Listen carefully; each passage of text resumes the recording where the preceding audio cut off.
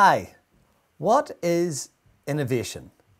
Innovation is a very overused term, but how would we actually classify if we're being innovative? And what part does it play within strategy? In this diagram, we take a look at how strategy that includes innovation provides both direction and motivation. At the bottom left-hand square, we can see that Businesses that have low levels of motivation and low levels of direction tend to have no strategy.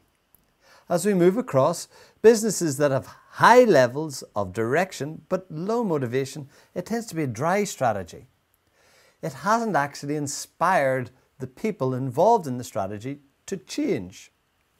Those that happen to have high levels of motivation and low levels of direction tend to have a shallow strategy. It tends to have no depth. You can't pivot or make changes because you don't really understand it. And then the golden place to be is where we have high levels of strategic knowledge and we have good direction and motivation. Michael Porter said that innovation comes from an invention that has been commercialized, something new that has actually been brought to the marketplace and purchased. In this ladder, we can see that at the bottom rung, we have imitation. This is where we've simply taken a product or service from someone else and replicated it into our own business. Whilst quite often we must do this in order to perform tasks, we can't say that we've got better staff or better processes, therefore we are innovative if those things are replicated in other businesses. The second step is to take a look at iteration. This is where we take a product or process and we modify it. We tailor it to match our own needs. Again, when we modify these processes, products or services, we find that we add a little bit of value, but it's not true innovation. It's not stimulating our strategy. Next, we take a look at innovation. This is where we've commercialized something, something unique, something that the customer is prepared to pay for. The last rung of the ladder is invention. Invention's a little bit odd. Most businesses don't dare go into invention because when we invent something, we don't know if the market's going to accept it or not. We can end up having spent money, come up with brand new concepts, new ideas, and requiring new markets, and we don't know if it's going to work. So, quite often, when we invent something, the commercialization will mean the paring back of that invention into an innovation.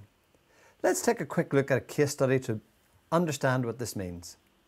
A company decides that they're going to start selling their own apparel into the sports section of schools rugby within the United Kingdom. The first thing they do is they take a look at the leading provider and then try to imitate what they're doing. It has no effect on sales, even though they're cheaper. We give this one star for effort. They have to climb up the innovation ladder. And right at the top, we have invention. The problem with inventions are that we don't know if the market will even accept them. But an invention that has been commercialized becomes an innovation. Starting at the top and going down is easier than coming up from the bottom. The business notices that lots of kids are wearing special vapor rubs on their chest.